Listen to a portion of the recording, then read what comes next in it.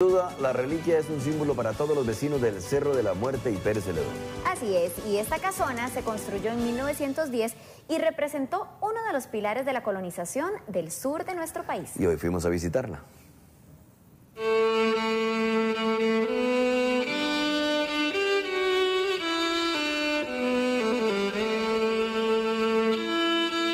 Tardaban hasta una semana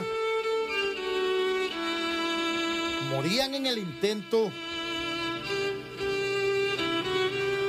llegaban a enfrentarse hasta cero grados, altura que superaba los 3.500 metros sobre el nivel del mar. Y las condiciones geográficas hacían que muchos vecinos del Valle Central se arrepintieran en su intento de llegar al Valle del General a principios del siglo XX.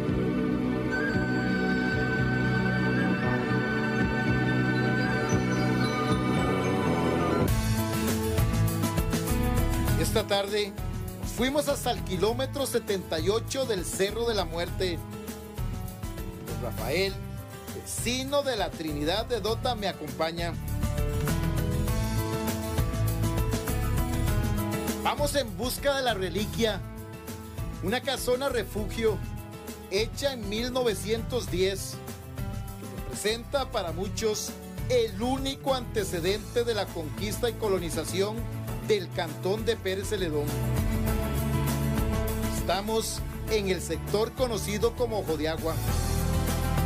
Hasta con avanzar unos 300 metros para llegar hasta ella.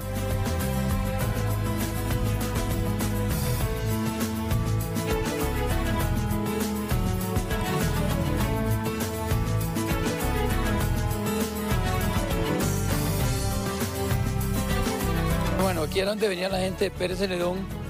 Eh, ellos venían caminando, duraban hasta ocho días y aquí era donde se quedaban. Ellos encerraban los chanchos o los encorralaban con un mecates y llegaba el león y los espantaba.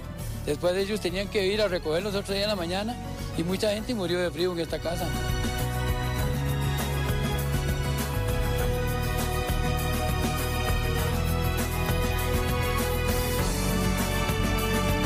A pesar de ser monumento histórico nacional, desde el 2 de noviembre de 1974, esta casa refugio luce abandonada.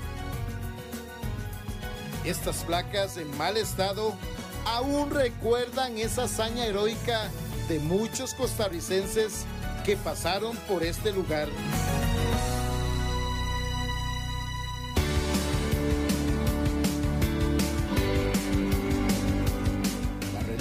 Como la llaman sus pobladores, es el único refugio que aún queda de los tres que se construyeron durante la administración de Ricardo Jiménez. Las otras, como el Cerro Buenavista y División, ya no existen. Bueno, ha sido muy descuidada, pero los caballistas que, que van a Pérez y los de, los de Cartago vinieron y le, pusieron las paredes de, de, Con barro aquí de la zona, de barro de la zona, sí, porque eran paredes de, de- de tablas, entonces las remodelaron un poquitico y le pusieron zinc. La romería, los caballistas vienen, aquí se quedan, eh, prenden el fogón, ellos tu, eh, amarran los caballos ahí en ese galerón que hay. Es toda una fiesta. Si es una fiesta que hacen, otro día ya siguen la rutina para Cartago. Caminar por esta casona es trasladarnos al pasado y recordar esa gesta heroica de muchos labriegos sencillos que lograron dominar por primera vez el Cerro de la Muerte.